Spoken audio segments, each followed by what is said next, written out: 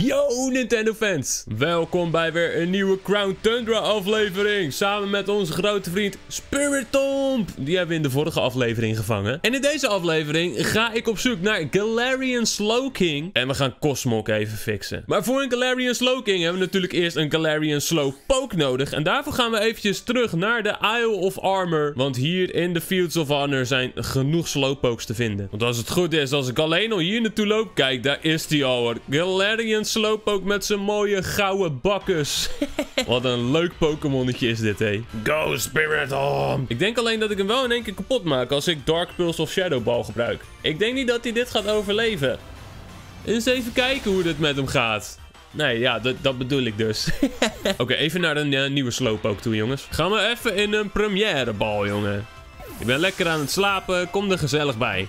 1 en 2 en 3. Dit gaat iets makkelijker dan legendaries vangen, jongens. Een sleep pokey vangen. Willen we hem nickname geven? Ja, man. Dit, dit wordt Sleep King. Ja, ja, vette naam, jongen. Vette naam. Sleep King. En je mag even in mijn party komen. En dan mag je even in de plaats van Virizion. En nu moeten we terug naar de Crown Tundra. We moeten namelijk op zoek naar een persoon in de buurt van de Frigid Sea.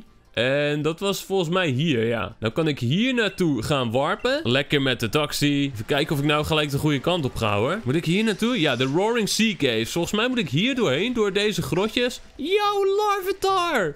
Yo, man. Hij wil mee. Oh, oh, maar dan krijg ik ruzie met Tyranitar, jongens. Oh, oh, nee, uh, niet boos worden. Niet boos worden. Ik kan er niks aan doen dat Larvitar met mij mee wilde. Oh, nee. Het is afgesloten hier. Oh, een carbink in de weg. Waar moet ik naartoe? Moet ik hier... Hé? Ik kan nergens naartoe. Wat is dit voor een raar gedoe? Laat me hier overheen. Hoe kom ik ook weer bij de Frigid Sea? nou, waarschijnlijk toch via een andere kant dan. Oh, we zijn... oh, hier is gewoon de Frigid Sea. We gingen wel goed. Potverdorie, ik was net al hier. Ik moest alleen nog een stukje rechtdoor en dan ligt hier gewoon de zee. Nou moeten we dus op zoek naar een persoon in de buurt van deze zee. Maar waar is die persoon? Even kijken hoor, waar we naartoe gaan als we hier tussendoor gaan. We zijn dus net uit de grot, dan gaan we even naar links. Ja, nog een deel van die grot, hè. Jongens. Oh, hier ligt wel een... Uh... Oh, misschien wel. Misschien is het dat vrouwtje. We vinden een TR Dazzling Gleam. Dat is best wel een goeie. Het zou zomaar wel dit vrouwtje kunnen zijn. En om het te laten evalueren heb je nog iets nodig. Je hebt namelijk 15 Galaria Twigs nodig. En als dit het goede vrouwtje is, dan vraagt zij hierom. Ja, ze zegt meer en meer. Galaria Twigs, ze zijn overal. Ze dus zegt een of andere spreuk. Als we haar dus 15 Galarica Twigs geven, dan maakt ze een Galarica Wreath voor ons. Of Wrath. Ik denk dat we Wrath moeten zeggen. En daar gaat ze. Ja hoor. Boven, beneden, onder de sneeuw, in de sneeuw, weet ik veel. En hoppakee, een brand new Wreath. Galarica Wreath Wrath, I don't know. En deze moeten we op het hoofd van een Slowpoke zetten. Oké, om toch even uit te leggen waar dit precies is. Het is niet heel moeilijk. Want als het goed is, kom je dus daar vandaan. Daar ben ik vandaan gekomen. Toen ging ik dus hier naartoe. En dan gingen we gewoon helemaal naar links. Dus je slaat het eerste strandje over. Je gaat door naar hierachter. Tussen deze vallei door. En dan op een gegeven moment dan zie je hier aan je linkerkant nog een grotje. En daar is het. Nou, hoe kom je nou aan zoveel Galarica Twigs? Dat is ook niet zo moeilijk. Je gaat naar de Dynatree Hill. Je weet wel, deze grote boom. En dan ga je gewoon op zoek naar glinster dingetjes rond de bomen. Dus eens even kijken of hier wat ligt rond deze boom.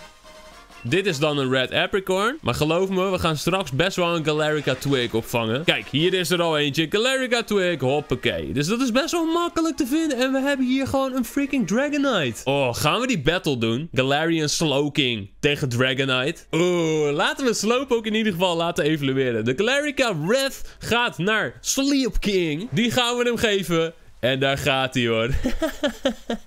Wat? Sleep King is evolving. Daar gaat hij. Ik vind dit wel echt een vette Pokémon. Kijk dan. Ah, die ogen zitten gewoon in dat soort van schelpachtige ding. Ik ben zo benieuwd wat de Pokédex zegt over Galarian Slowking. Eens even kijken. Het is in ieder geval een Poison en Psychic type. Oh man, hij maakt gewoon potions, deze Slowking. En, en hij kraamt dan een beetje vreemde spreuken uit. En terwijl die eet, mengt hij dat met het gif wat in hem zit. En dat wordt dus een potion. Freaky! Hij wil ook gelijk een aanval leren. Eerie Spell. En dat is zijn nieuwe signature move. En die haalt gewoon 3 PP weg van de tegenstander. Dat is wel insane. Ik ga hem dus eventjes healen. Hij krijgt van mij een awakening. Dan is hij weer wakker. Dan is hij niet meer Sleep King. En een hyper potiontje erbovenop. Heb ik nog een ander potiontje voor hem. Een super potion. Yes, en hij is full AP. Oh, dan wil ik ook nu echt even zien hoe die achter me aanloopt. Yo, Sleep King! Kijk die kop! Holy crap, kijk hem rennen! Boom, boom, padoom, padoom. Hij is niet heel snel. Sleep King, durf je het aan tegen deze Dragonite? Durf je deze battle aan? Zijn jullie matties? Of niet? Of gaan jullie, gaan jullie elkaar slopen nu? ja hoor, kom dan. Kom maar. We, we, gaan dit doen. We gaan dit doen. Sleep King, Dragonite. Let's do this.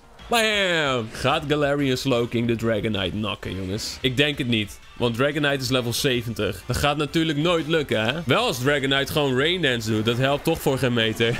Hij doet nog een keer Rain Dance. Op, nu zijn wij al zijn Rain Dance moves aan het uh, ja, downgraden, zeg maar. Want er gaan steeds 3 pp weg. Oh nee, alleen de e- eerste keer gingen 3 pp weg bij Rain Dance. Hmm. Oh jee, hij gaat outragen. Hij gaat outragen. Ah... Als straf ga ik je vangen, Dragonite. Premier Ball! nee, dat dacht ik al. Oké, okay, Dragonite is confused. Dat is nooit goed als je een Pokémon wil vangen. Laten we in ieder geval even schakelen naar Ultra Balls. Hoppakee. Hops. En kom maar. Ja, kom maar. Doe maar, joh. Doe maar. Lekker. Goed zo. Nice. Hoppakee, eerste ultraballetje. Ja, wel jammer van uh, Sleep King. Die krijgt nu geen XP. Oké, de volgende die we gaan checken is Cosmog. Want als jij de DLC hebt uitgespeeld en je gaat terug naar Freezington, dan moet je even dat huisje daar binnenlopen. Kijk, hier is namelijk nog een mevrouwtje. En die zegt, dankjewel dat je het dorpje hebt beschermd tegen die verschrikkelijke pestkop van een Pokémon. Ik denk dat jij wel voor mijn Foofy wil zorgen. Wil je dat doen? Natuurlijk wil ik dat doen. En het vrouwtje vraagt aan Of Foofy een beetje happy is. En die zegt, mok mok, ja hoor. En dan krijg je dus gewoon een Cosmokje erbij. Nou, deze blijft ook schattig, hè. Cosmok is nog maar level 5. Dus die moeten we even snel gaan trainen. En uh, Snorlax, kom maar. Psychic op je bakkes. Oké, dat overleeft hij lekker. Hij doet Giga Impact, maar dat raakt mij natuurlijk helemaal niet. Hehe, stupid Snorlax. Hoppakee. Eens even kijken of we Cosmog kunnen gaan evalueren, jongens, in deze aflevering. Cosmog is nu level 18 in één keer. Heb ik nog meer Experience Candies of niet? Ik heb alleen nog Experience Candies M en S. Dat gaat nooit genoeg zijn. 30.000. Dan worden we level 31. En dan hebben we hier nog S. Daar hebben we de 11 van, maar dat schiet helemaal niet op. Dat is 8000. Dus nu is die level 33. Eigenlijk moeten we even die max rate doen daar. Even kijken, wie is dit? Oh, kijk, een Dragapult. Daar gaan we! Nou, allemaal drie klappen erop en klaar. kijk, die shinies daar. Shiny Lapras ook echt. Dit draait natuurlijk allemaal om de Experience Candies XL die we hier hopelijk van krijgen. Hij heeft de ability Cursed Body. En hij disabled dus al onze moves. Dat is echt super slim. Super naar voor ons eigenlijk. Die Dragapult van ons, die is trouwens ook shiny. Sick. En ik weet niet wat die Dragapult allemaal aan het doen is. Maar hij is nu 38 moves aan elkaar, achter elkaar aan het doen volgens mij. Holy crap joh. Hou eens op. Hier, Max Starfall op je bakkes. Hoppa. En daar gaat hij. Ja, ja, ja, ik zat bijna niet op te letten. Maar daar gaat hij. Even kijken of we hem kunnen vangen. Komt u maar, komt u maar, komt u maar. Eigenlijk kan je hier het beste Duskballs voor gebruiken. Ik heb nu een Ultrabal gebruikt, dus ik hoop dat het gaat lukken. Zou lekker zijn als we ook even een goede Dragapult erbij fixen namelijk. En volgens mij is het gewoon gelukt. Kijk maar. Hoppakee. We krijgen dus nu drie Experience Candies L en drie Experience Candies XL. Nou denk ik niet dat dat genoeg is om hem helemaal door te evalueren. Eerst maar even die drie L's geven. We moeten eerst naar level 43 door evalueren. Want dan evalueert hij voor de eerste keer. Dus ik ga deze Experience Candies gewoon één voor één even geven. Zodat we hem niet te ver door evalueren. Of in ieder geval, ik bedoel niet te hoog level maken. Nu is hij dus level 43. En daar gaat hij. Yo, Cosmokie! Cosmok evolueert in Cosmoon. Nice. En hij leert gelijk Cosmic Power. Dus nu kan hij ook lekker zelf gaan aanvallen. Nou, dan geven we die andere twee Experience Candies ook nog eventjes aan hem. En dan gaat hij door naar level 51. Helemaal mooi. Dan geef ik hem nog twee rare candies. En dan is die leveltje 53. En daar gaat hij dan, jongens. Dus als je Pokémon wil evalueren... Geef ze gewoon Experience Candies XL. Dan gaat het echt super hard. En dan gaat hij. En wie gaat hij evalueren? Hij evolved in Lunala. En dat is waarschijnlijk omdat ik Pokémon Shield speel en niet Pokémon Sword. Lunala! Oeh, Moongeist Beam. Dat was wel echt een goede aanval. Lunala! Holy crap. Wat een mooie verschijning ben jij. Kijk die vleugels, jongen. Gigantische vleermuis-Pokémon volgens mij. En, vlieg je ook gewoon mee? Als ik nu hard ga lopen, vlieg je dan mee? Kom je dan achter me aan vliegen? Ja, kijk hem gaan. Kijk hem gaan. Wat cool. Ik ben benieuwd wie jullie cooler vinden, jongens. Vinden jullie Solgaleo vetter? Of vinden jullie Lunala toffer? Ik denk dat ik zelf misschien Solgaleo toch net iets vetter vind. Maar hey, Lunala is ook een baas, hoor. Kijk hem staan. Durf je tegen deze Frostlass?